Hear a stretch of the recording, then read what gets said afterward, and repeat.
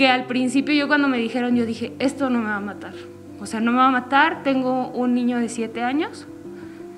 Y yo dije, no, Dios sabe cómo te manda las cosas, en qué momento y todo. Si Él no hubiera estado, Él y mi esposo, Liliana es sobreviviente del cáncer de mama. Hace tres años, después de una revisión habitual, se detectó una bolita extraña en el seno izquierdo. Tras 12 quimioterapias y tratamiento, hace siete meses le practicaron una mastectomía. Si bien su vida dio un giro radical, ese no fue impedimento para que ella siguiera adelante.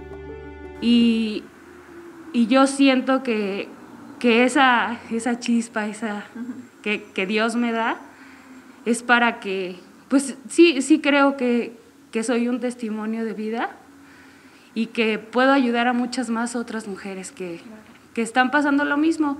Y te digo, no he parado, me he adaptado, obviamente, rehabilitación, este, pues la calma, porque soy bien desesperada, no me puedo estar quieta. Entonces ya estaba, ¿ya me puedo parar?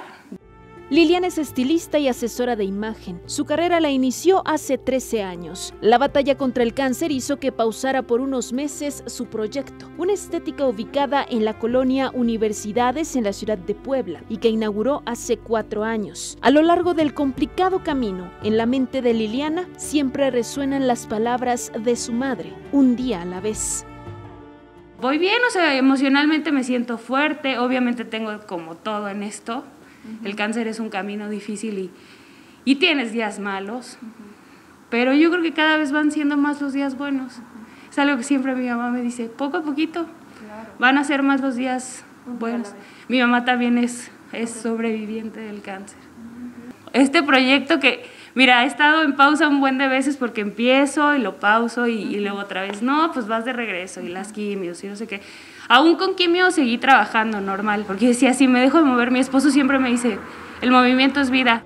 Esta guerrera ama a la nueva Liliana que nació con el apoyo de su familia, el amor por su trabajo y las ganas de salir adelante. Ahorita con lo del cáncer ha sido mucho de, amiga, es que mi hermana o mi prima o un amigo o el papá de un amigo está súper deprimido, puedes hablar con él y no sé qué, así. Entonces, pues también estoy te digo que tengo eso, ahorita este, tengo también un proyectito que estoy empezando como de un bazarcito en línea.